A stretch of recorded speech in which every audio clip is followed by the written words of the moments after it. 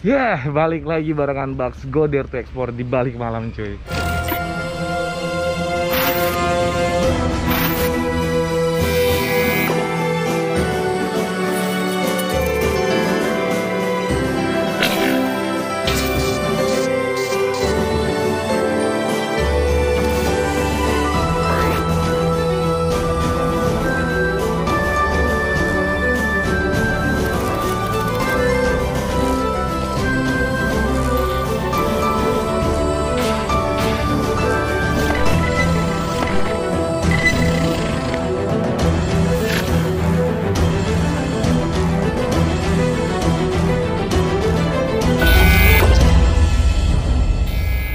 Jadi hari ini gue berada di Jatiluhur, tepatnya di Purwakarta teman-teman.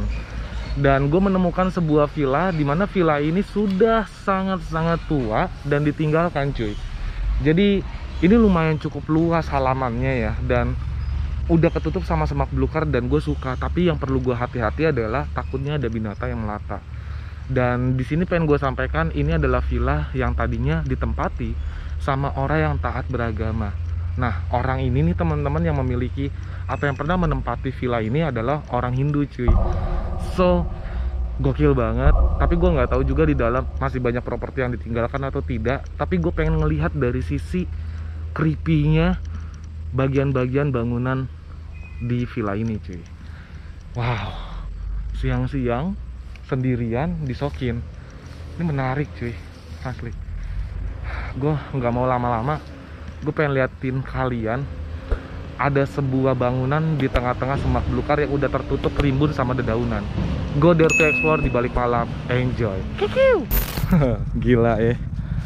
Lo bisa lokit. Ini sungguh sangat-sangat creepy cuy. Dan untungnya gue masih siang datang ke sini. Kalau malam gue mungkin agak sedikit rada scare juga ya tapi siang aja udah lumayan cukup bikin wih horor cuy. Gila. kita lihat-lihat deh di sini. Ini bangunannya teman-teman itu villanya. Yep. kita masuk lewat mana gue juga bingung. Kita lihat aja dulu perjalanan gue oh ternyata di sebelah sana ada villa lagi. Ada bangunan lagi teman-teman. Wow. Gokil nih. Gokil sih tapi karena udah tua ya begini cuy keadaannya. Ya salam. Wow. Creepy ya sungguh. Ini pintu masuknya tapi kayaknya gue rasa nggak bisa lewat sini cuy. Dan di situ ada sebuah patung. Ada dua. Wow. Oke kita coba lewat samping. Kita cari keadaan untuk masuk ke dalam rumah atau villa ini cuy. Wow. Gokil sih.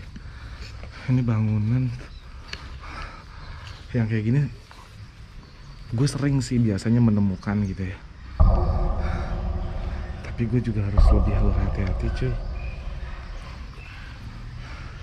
Karena takutnya ada ular dan lu lihat nih teman-teman. Ya ampun. Lebat sekali ya cuy Oke. Okay. So, kita coba masuk pelan-pelan.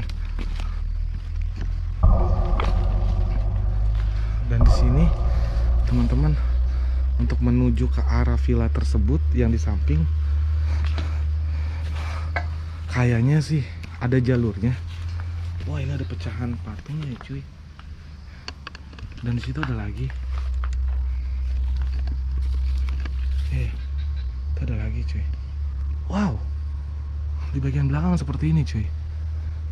Ini udah keropos kayu-kayunya ya cuy. Wow. Menarik sih teman-teman. Ini yang gue maksud keropos ya cuy. Ini harus hati-hati takutnya ketimpa gue. Bahaya. Oh my god. Wow itu danau di sana gunung. Teman-teman. Ini ada pintu masuk kali ya? Oh iya ini pintu masuknya nih. Ini kebuka. Gokil.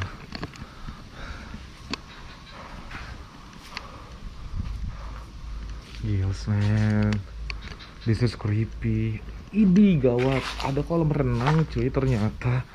Dan Oh iya. yeah untuk jalur menuju ke arah bangunan yang ada di samping sana gue rasa sih harus lewat semak belukar ini ya cuy. Tapi ilalangnya udah tinggi sekali teman-teman. Sehingga gue kayak agak sedikit was-was deh. Tapi gue kasih tahu sama kalian di sana ada bangunan dan kolam renang nih teman-teman. Terlihat lumayan cukup menarik teman-teman di sini juga. Tapi plafonnya udah pada hancur. Ini agak ngeri. Karena mungkin udah lama ditinggalkan jadi begini cuy. Coba kita menghadapkan situasi di bagian ini ya teman-teman. Oh my god. Ini creepy banget ya. Gila.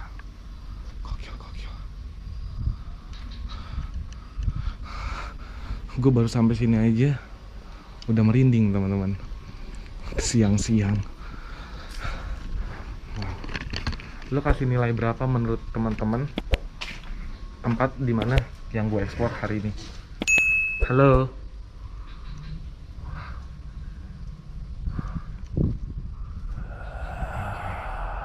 Ih, ngeri ya, cuy.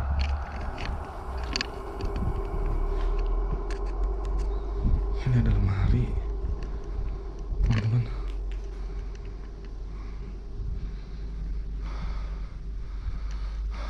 Lumayan bagus sih, tapi udah keropos juga. Oh my god. Ini ada sebuah toilet di mana Ih, ada kulit ular. Astaga Tuhan, ada ular kah? Anjir. Ada ngeri cuy.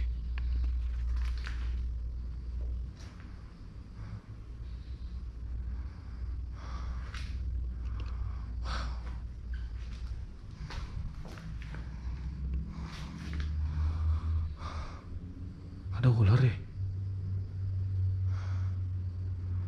Anjir ngeri banget ya.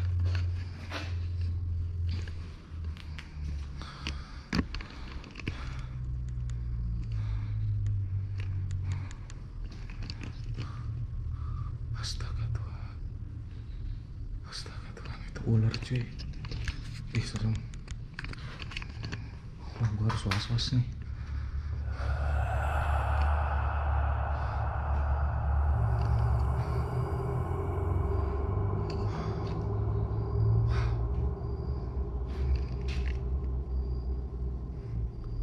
Oh my god. Anjir, serem juga ya teman-teman.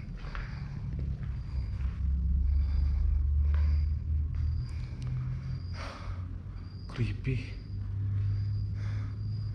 Asli creepy. Lembab. Di sana ada sebuah toilet juga. Wow, so massive. Ini ada patung, cuy.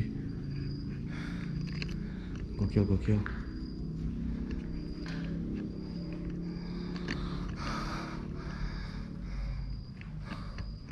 Jadi kurang lebih bangunannya seperti ini nih teman-teman. Keadaan di dalam.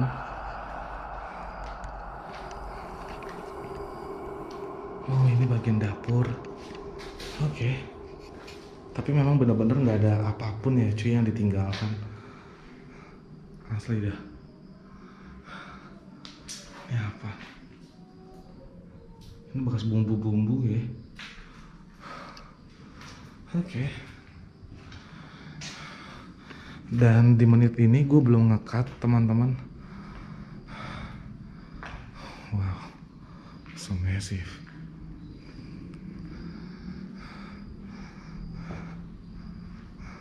Dan ini pintu kebuka juga.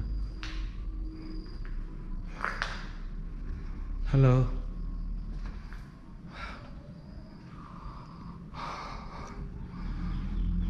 Dan ini juga udah hancur teman-teman bagian atasnya cuy. Terlihat ya. Menarik, menarik. Coba kita lihat dulu di samping. Wow. Gokil.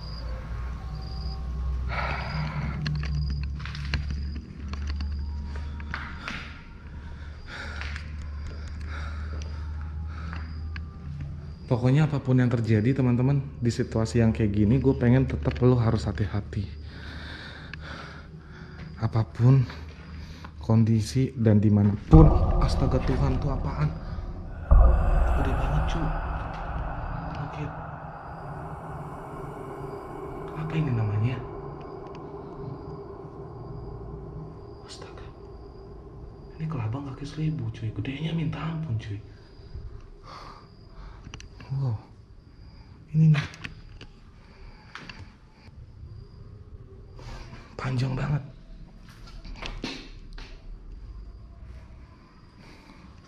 Di situ tadi gue liatin ular cuy. Ngeri banget cuy. Cuman walaupun kecil tapi mengerikan cuy. Apakah dia ke sana? Oke teman-teman di situ ada ular tadi pokoknya. Ngeri banget asli oh itu dia tuh buntutnya tuh. Cuman di bagian apa sih namanya tuh genting-genting ya cuy. Wow. Tuh panjang banget itu.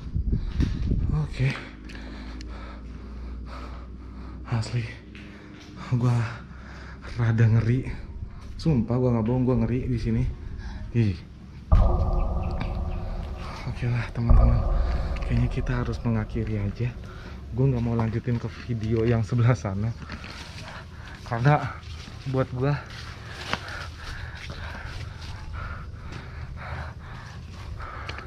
mengeksplorasi sebuah tempat pun juga kita harus ngeliat kondisi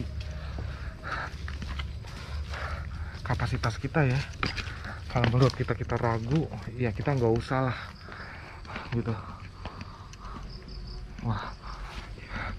So teman-teman semua terima kasih banyak yang udah support Bugs selama ini di balik malam. Dan tetap kasih kritik dan saran agar channel gue tetap berkembang. Mudah-mudahan teman-teman yang ada di sini bisa mensupport melalui tapping di dalam kolom komentar. Lebih bisa kasih kritik dan saran mengenai tentang eksplorasi atau perjalanan DRP Explore-nya Bugs akhir kata teman-teman sampai ketemu di video selanjutnya karena gue nggak sabar untuk ketemu lo semua di kolom komentar. Peace. Bye bye wow. Gokil. Tanpa di cut